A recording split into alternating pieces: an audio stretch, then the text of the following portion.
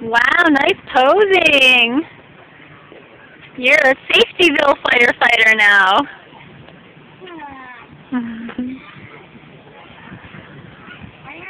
yeah.